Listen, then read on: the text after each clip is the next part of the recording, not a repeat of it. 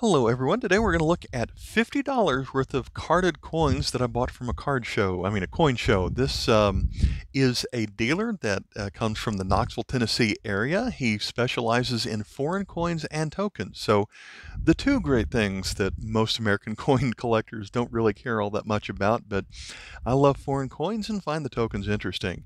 And so uh, he's one of these dealers that deals with foreign that knows exactly what he has. And so uh, prices them accordingly. And so the price that I got is exactly what is written on here. They're pretty good prices for the most part.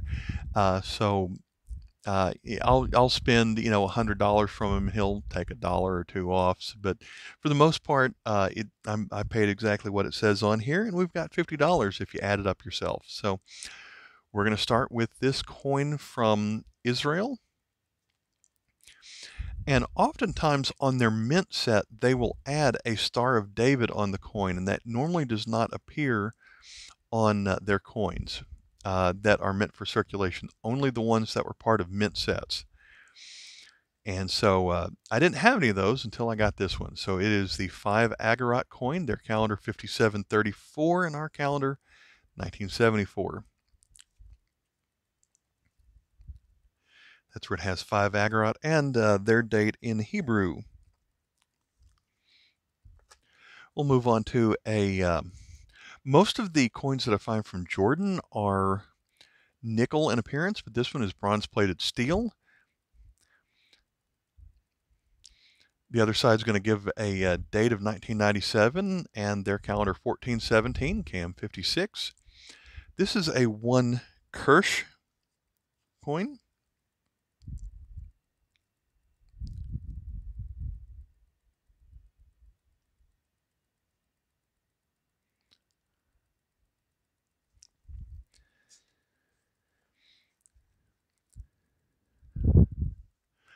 Now we're going to move to a bimetallic, I mean a uh, colorized coin from Panama. So when the mint colorizes uh, the coin, that's when it's good to keep onto it. It's when people take uh, U.S. quarters and then colorize them. That's not so good. But when the mint does it, that's when it is interesting. So this is from Panama, and it features, there is a series of coins uh, featuring the 100th anniversary of the Panama Canal. And so there are um, six different coins in the series from 2016. Now, um, this one is uh, has a, as you can tell, a, a, ribbon where it's colorized blue with white letters on top of it. 100 años is 100 years. This is a quarter of a Balboa, so that's like saying a U.S. quarter dollar. They make their coins the same shape and size as American coins, and they have the, their currency pegged to the United States currency. So uh, I could uh, take this to trade it in and get a quarter for it, a U.S. quarter.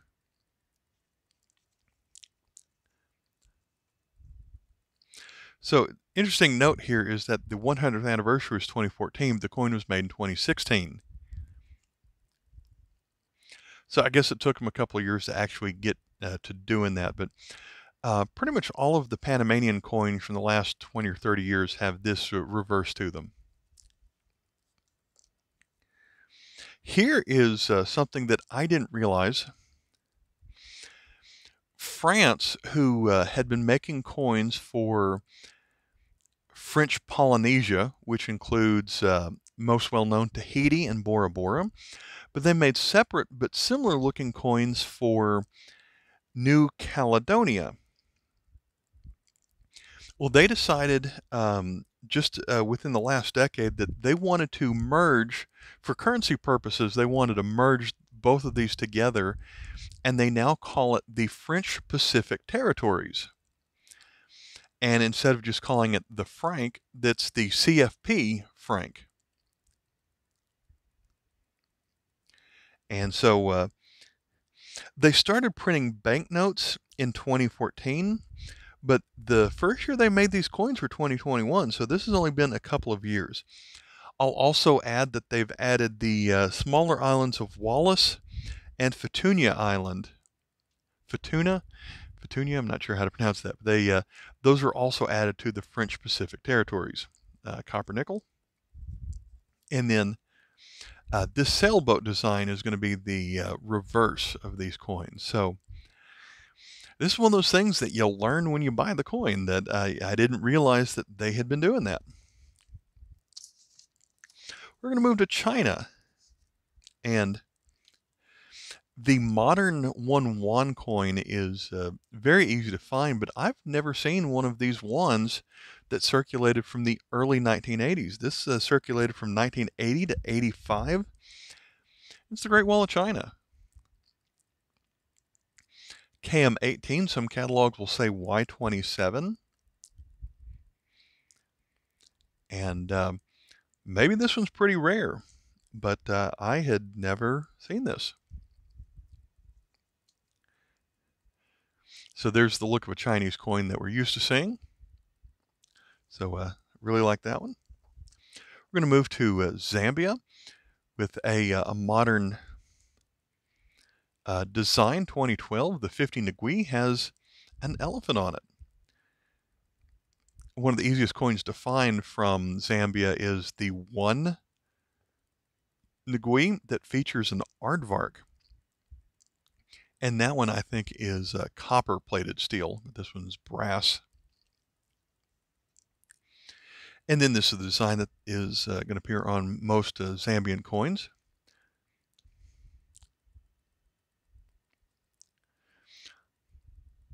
Most African countries have uh, animals uh, surrounding the shield. This one has people with the eagle on the top.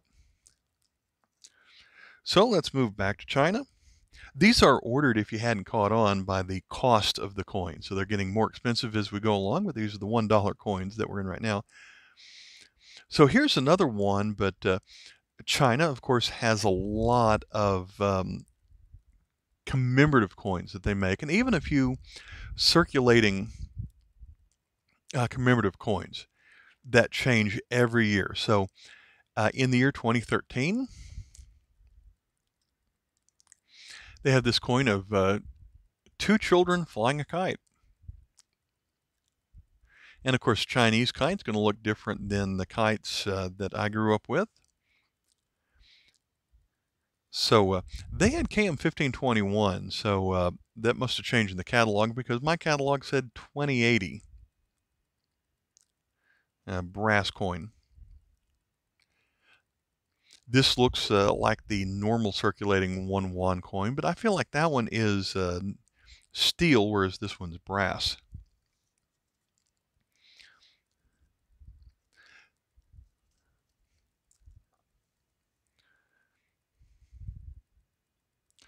Going to move to a Russian coin.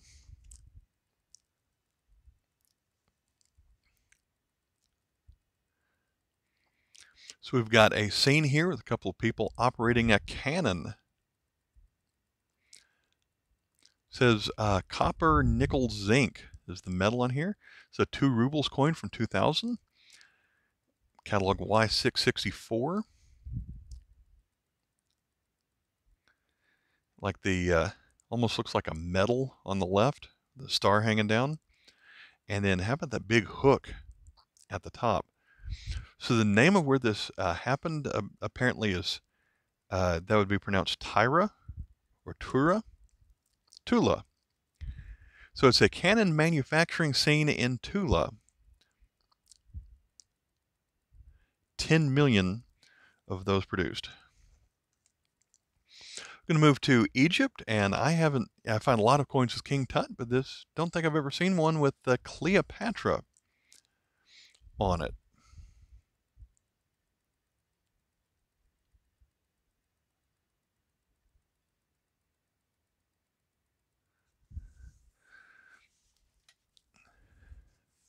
It's going to be a 50 piastres. Our calendar 2007. Their calendar 1428. There's where it says 2007, but in Arabic numerals. Brass steel, KM 942.2. The point one and point two version of this coin uh, depend on whether or not it's magnetic. So that implies that there's a different metal uh, content.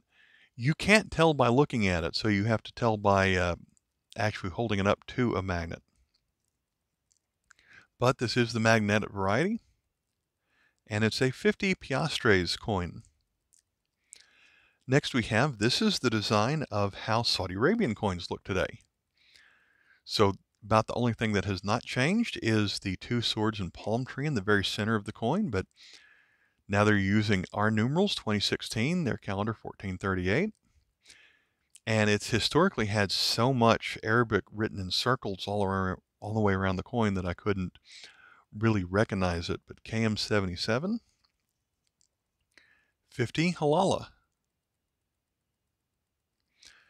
And so again, this is a design that I had not seen until I found it for sale. Our next coin is going to be a commemorative uh, one-year coin from Australia on the $1. And it's the 100th anniversary. They call it the centenary of scouting. So Australia probably has some Boy Scouts. I don't know what they call them, but um, must have been formed in 1908. The coin was made in 2008. It's aluminum bronze, KM 1039. Flip it over, and uh, there's Queen Elizabeth.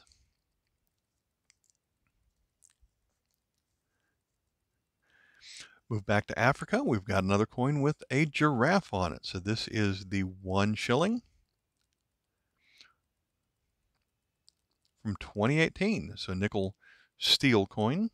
KM 45.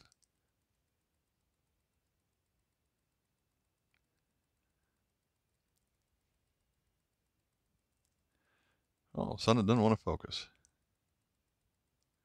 Must be trying to focus on the reflection there, but let's flip that one over. So this side of the shield is what we see on a lot of uh, Kenyan coins. That hasn't changed. Now we've got a former Soviet country that you don't find coins from hardly at all. Kyrgyzstan. Yeah, this is one of those countries I actually think I have more paper money than coins from there. Just because they must overproduce their, their paper money and the coins are harder to find. But I don't even actively collect paper money that much, but I've, I've come up with some. So this is 2008. It looks like COM com, but it, it's pronounced SOM, I believe. KM16, nickel plated steel.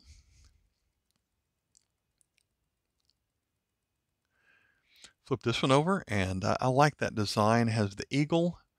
Behind that are some uh, hills and some mountains, and then a radiant sun behind that. So that's kind of a neat design that I don't think I had seen.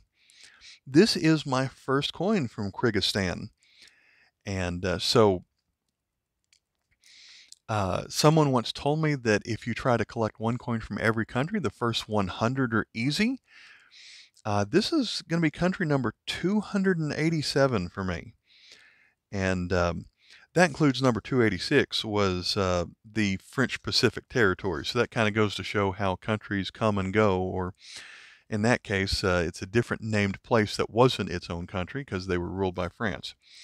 We're going to move to a coin from Croatia. And what I found interesting was they have a coin that highlighted the 1996 Atlanta Olympics.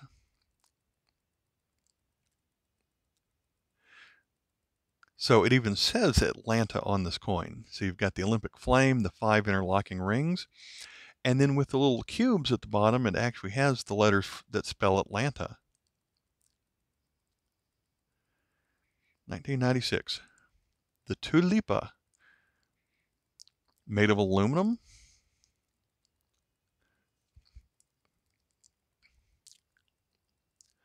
Croatia, they call their country Hrvatska. Now we're going to move to the uh, country of Macedonia, which is today called Northern Macedonia. This is a five dinar coin. But their uh, coins feature different animals, and this one features a bobcat. 2008, 5 denarii.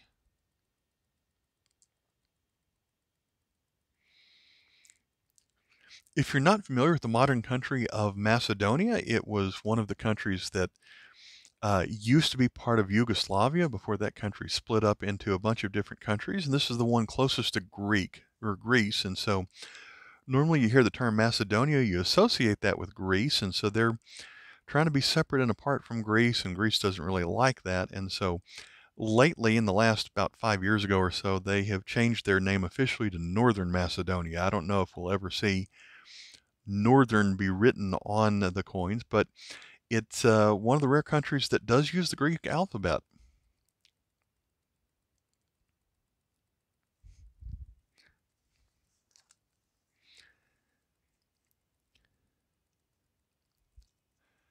We're going to move to Denmark.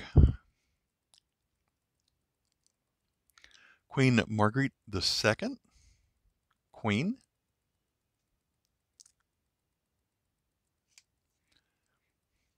Going to be a 10 kroner coin. Of all the coins in the video, this is the only one that I already had. So I hate it when I spend $1.50 and get a coin that I already had. It is KM 864.1. The point one means the Mint Master initials, which show up here at the very bottom, B heart B, would be different on different versions of this coin. Going to move to Aruba. This is a one florin coin from 2016. Aruban coins are controlled by the Netherlands, but the Netherlands moved to the euro. But Aruba is not part of the European Union, so they still had their coin design have not changed over the last few decades, except for when the monarch changes. So here we have a one florin with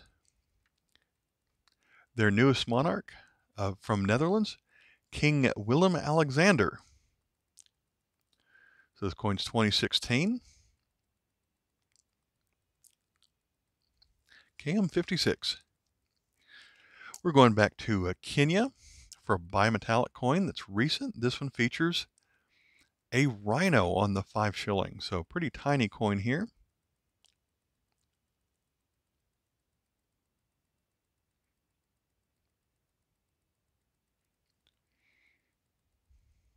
Twenty eighteen KM forty six.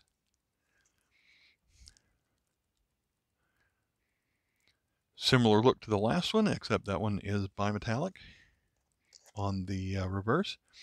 Now we're moving to Tanzania, where we've got a 200 shilingi coin uh, featuring a lion and cub. 1998, KM34. I like the old school square flip that appears on this one.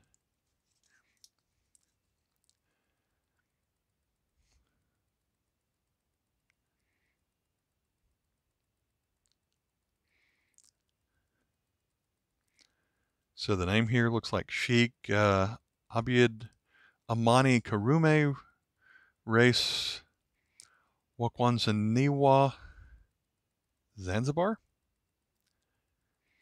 I apologize that I probably totally messed that up, but it has uh, his date there to the left of his mouth. KM34.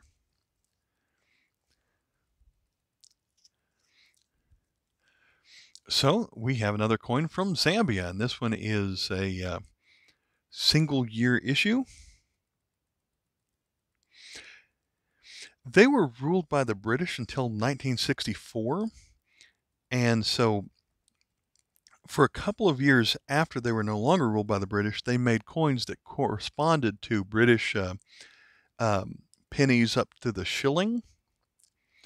But very simple design. It just says Zambia 1966, has a hole in it made out of bronze. And then when you flip it over, it says one penny. So there were 7.2 million of these minted, but they're kind of hard to find, which is why it has a book value of $2 on it.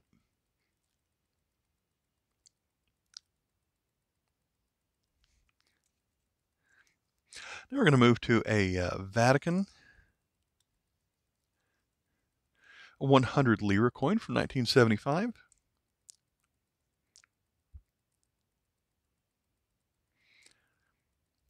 It has 1975 in Roman numerals right here. but uh, Vatican coins also have uh, give the name of the Pope, who is also the ruler of the Vatican City. So it's Paul the Sixth.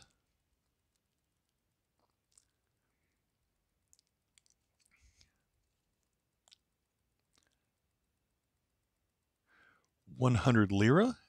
Here's where it says Vatican City or Città del Vaticano.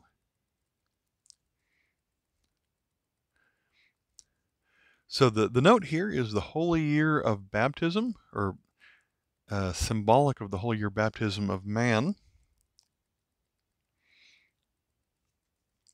But going from uh, what I remember of theology, we have the uh, uh the design here, and I forgot that um, I'm not sure how that relates to uh, Catholicism and baptism, but we've got fishermen. So you look at the top, there are four hands. So that would imply two people here are fishing.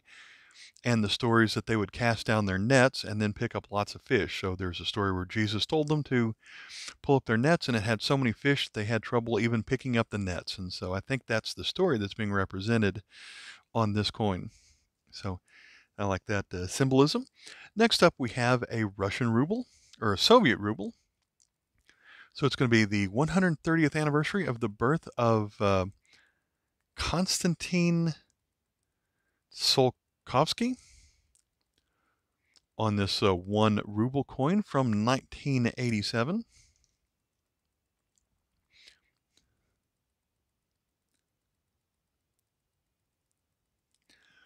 So he must have been um, either an astronomer or maybe he was a rocket physicist because there is a rocket flying through the stars in the background.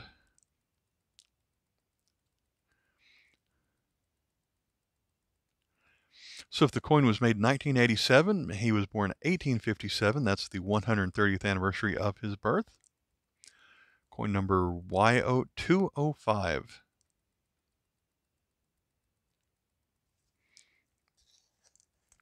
We have a silver coin. This one's going to be from Syria.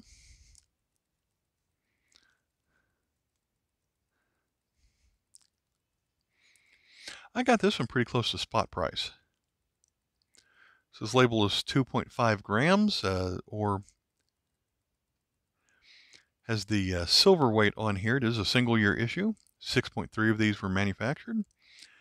Uh, silver weight 0.0482. So that's going to be um,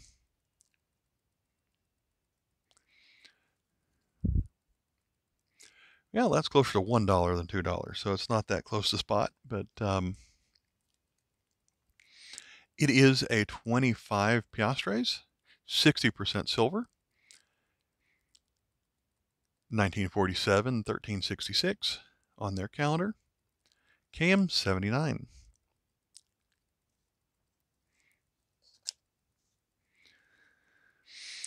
Next up is a really tough country to pull up. Manchukuo. And so this goes back to uh, the time between World War I and World War II, where the Japanese took over a portion of uh, China. And during that rule, uh, they called the area Manchukuo. Uh, you've probably heard of Manchuria or the Manchurian Candidate. That's essentially the same region. Uh, coin Y number 9, date of 1941. This uh, the Japanese occupation pretty much ended at the end of World War II. So this is a one fen coin. It's also, uh, the date is 1941, but they're going to uh, put the date on here as the, the year of the reign of the ruler. So it's year eight of the ruler who had the initials KT.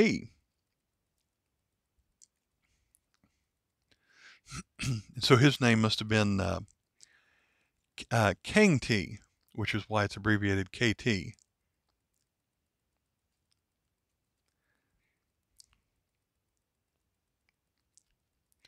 So this is only my third coin from uh. Really tough to find them.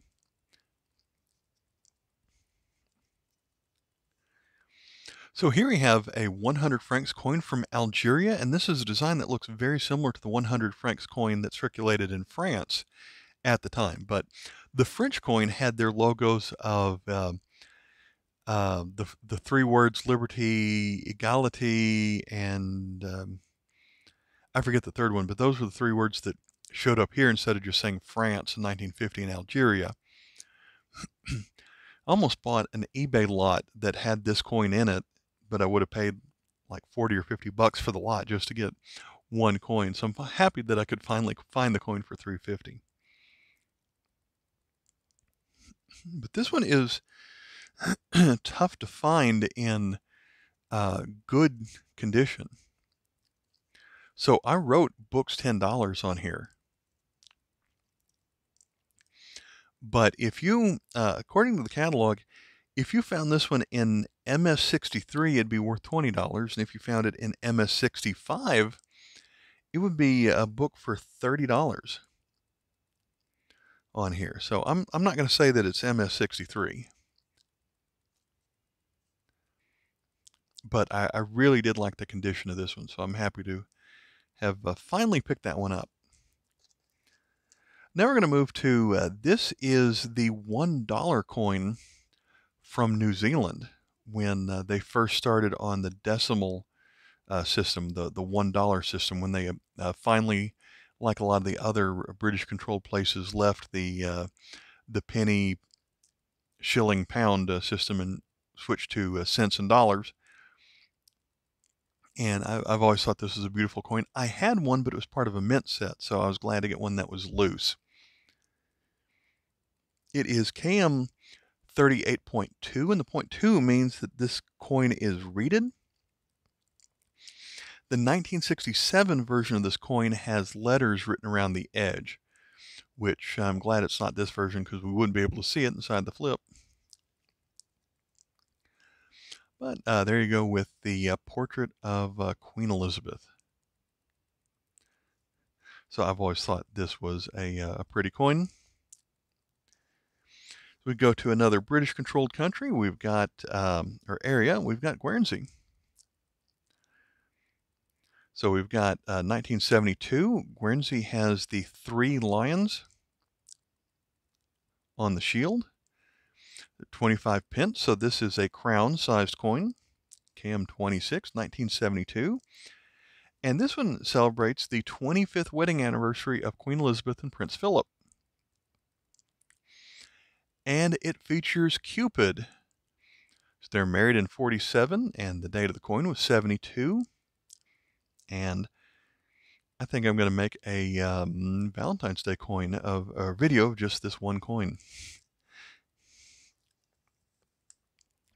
Then our last coin is a very similar theme because we've got another one with Queen Elizabeth from 1972, but this time it features Isle of Man is the, I mean, they're all produced by the, you know, the Royal Mint, but um, they uh, they send off these coins to different places. But this was another one that honors the 25th wedding anniversary of Elizabeth and Philip.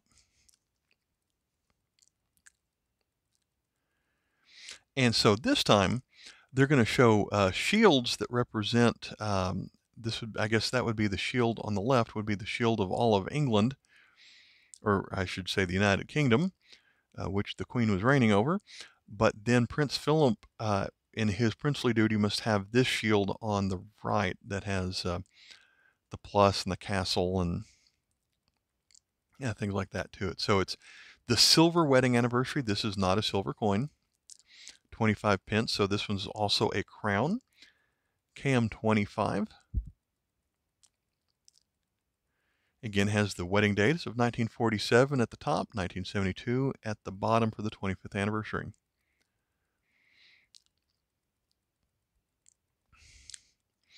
All right, so uh, we looked at $50. Oh, did I show the queen on this one? Yeah, I think it's probably the same portrait as the last one. All right, so we have uh, $50 worth of coins that we went through right there. Uh, which one was your favorite? All right, thanks for watching. Bye.